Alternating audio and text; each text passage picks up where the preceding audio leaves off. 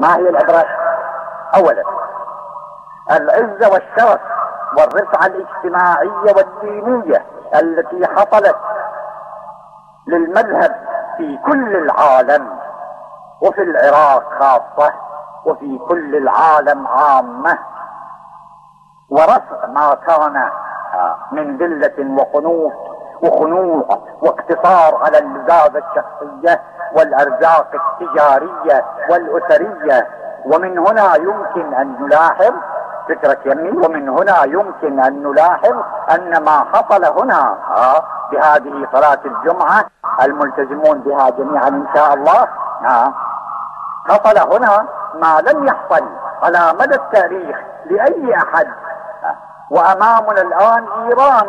فإنهم حين أقاموا صلاة الجمعة نعم ما فعلوا ولكن لم تكتسب إقامتها هذه الأهمية التي رأيناها هنا في العراق بالرغم من وجود دولتهم وحوزتهم وإنما نظر إليها العالم هناك كعبادة اعتيادية حصلت قناعة اعتيادية من قبلهم بإقامتها. لا بأس فلشي ثواب وأما هنا فكانت فتحا مبينا لا مثيل له.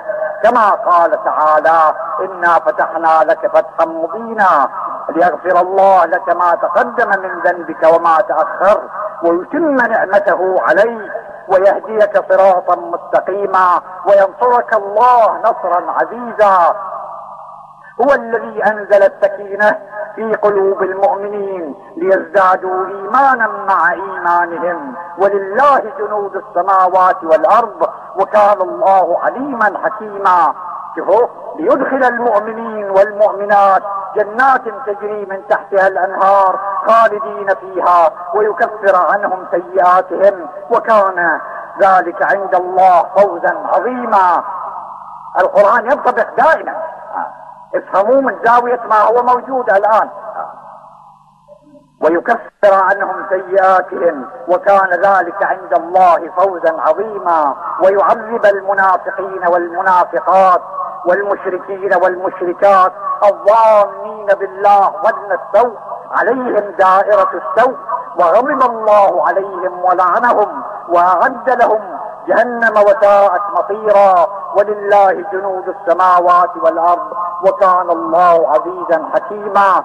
إنا أرسلناك شاهدا ومبشرا ونذيرا لتؤمنوا بالله ورسوله وتعزروه وتوقروه وتسبحوه بكرة وأصيلا. إن الذين يبايعونك إنما يبايعون الله يد الله فوق أيديهم. فمن نكث فإنما ينكث على نفسه. آه ومن أوفى بما عاهد عليه الله فسوف يؤتيه أجرا عظيما.